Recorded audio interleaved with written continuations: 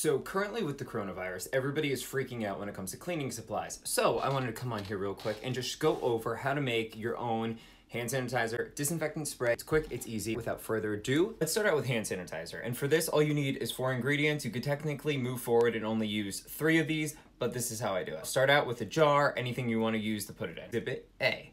Now, you will need rubbing alcohol, anything over 60% to actually kill that bacteria. Bam, bam, bam, across the board. Number two, you will need aloe vera, okay? This is gonna help prevent your hands from getting super dried out. Number three, we need some essential oils. You could use any ones that you have at home. These are orange and lemongrass. Both are antibacterials, antifungals, I believe. Yes, they are. Lastly, we have glycerin. Now, this stuff, you do not need it. I just use it because I have it on hand and it actually helps at thickening the hand sanitizer. This way it's not too watery when you're using it. But again, completely optional, you don't need it. Now, to get started for the hand sanitizer, it's so easy, okay? First, we're gonna go in with the rubbing alcohol. Again, anything over 60%. This way it actually kills the bacteria.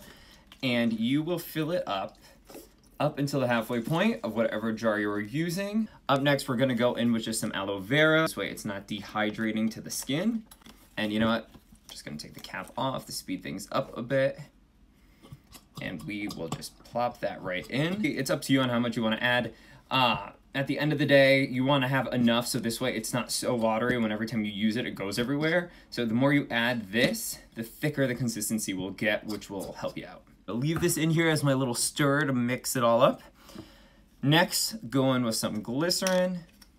One, two, three, four, five, six, seven, eight. Glycerin also helps at hydrating your skin as well. All right, now as you can see, it is still pretty watery. So I wanna go in with a little more glycerin. If I had more aloe vera, I would definitely go in with that just to help thicken it up. Oh yeah, there we go. That's what we're talking about. Nice, nice and thick. Nice thick and juicy.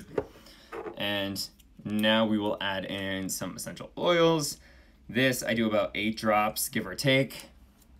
Really, it's not a fine science. Now, as you can see, with four ingredients or less, technically three, you have your own hand sanitizer right here. Protect yourself, protect your family, hide your kids, hide your wife. You don't need to. You have hand sanitizer. You are welcome. Now, Lysol here is a very hot commodity. Disinfectant spray is needed, but you can make your own at home, no problem. That's my dog. All right, all you need is three ingredients, and that is rubbing alcohol, 60%, water, and essential oils. That is it, and you are in business. Bottle here. Fill in a little more of that rubbing alcohol. Now, I already got started on this, as you can see. Top off the rest with water. Add some drops of essential oils. Give it a little shake. And you're good to go. Was that cool? No, no.